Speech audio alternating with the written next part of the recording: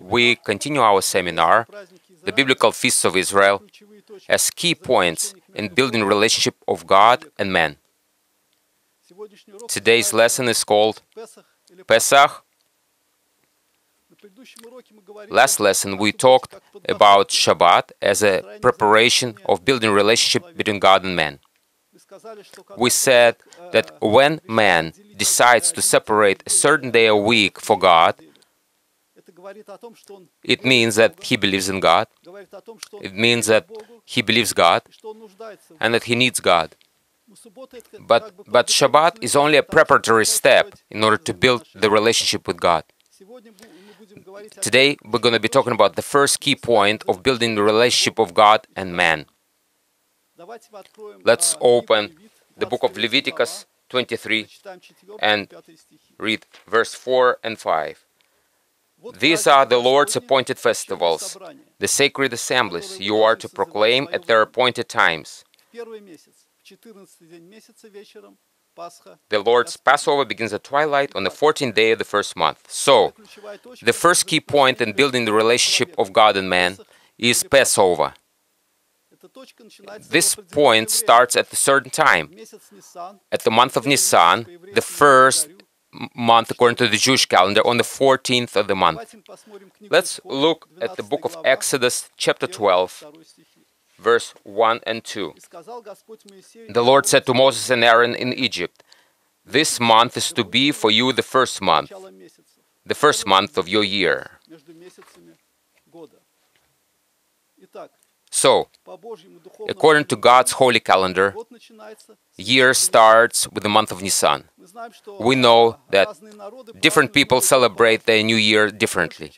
Most of the peoples of the earth celebrate their new year from the 31st to the 1st of January. There is also Chinese New Year. We as Jews have invented our own New Year. We know it doesn't exist in the scripture. It's a man invented uh, New Year. Really, it's called the Feast of Trumpets that is celebrated in the seventh month, on the, in the month of Tishrei. But we have our New Year according to the tradition. So we also see that God's New Year, Holy New Year, starts at the month of Nisan. That's the first month of God's holy calendar. Why? Because at that month, on the 14th of the month, the children of Israel, the people of Israel, received freedom of choice.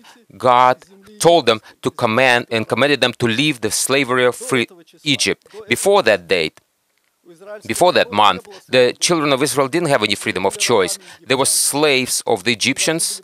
They needed to worship the Egyptian gods, to eat Egyptian food, to work hard in order to have good life amongst the Egyptians. They didn't have any other choice. At the month of Nisan, on the 14th of the month, through the blood of the lamb that was slaughtered, and that they used the blood of the blood, its blood to cover the door frames of their houses, they got freedom from the Egyptian people and slavery. We know that, that the lamb was slaughtered in every home and it, it, the blood of the lamb was used in every family. And when the slaughtering angel was was going through the Egyptian homes, the, the Israeli families were spared. So, at the result of the tenth plague, the people of Israel left the Egyptian slavery and got freedom. They got a, a choice of, of building their relationship with God and to fulfill God's will. What does it mean to us? To us, it means that in the new covenant, uh, God sent his son, Yeshua, the Lamb of God, so that he would bring this redeeming sacrifice on the cross. Let's look at John 1, verse 29. The next day, John saw Jesus, Yeshua, coming toward him and said, Look, the Lamb of God, who takes away the sin of the world. So, the first month, according to God's calendar, on the 14th day of the month of Nisan, the redeeming sacrifice was brought of Yeshua. Yeshua shed his blood on the cross, and every person who receives that sacrifice as a redeeming sacrifice, every person who re repents of his own sins and receives Yeshua as his own Savior to follow God and to follow and to build the relationship with God, every person, every such person receives the, the, freedom of choice. Before that, before we receive Yeshua as our own Messiah and the Savior, we don't have any freedom of choice.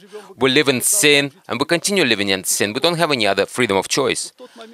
But when we receive this redeeming sacrifice and repent of our own sins and decide to follow God, we have a freedom of choice. To follow God, to follow His ways, to start building relationship with Him or not. So that's so important. This first feast is so important. This first step is so important in building our relationship with God. To receive Yeshua as our own Savior and to receive the repentance and to decide whether you want to follow God or not and build relationship with Him or not. This is how our relationship start with God and man. May the Lord bless us on this journey, you and us. Next time, we'll continue talking about this redeeming sacrifice and how to build our relationship with God the Father and His Son, Yeshua the Messiah. May the Lord bless you and us on this journey.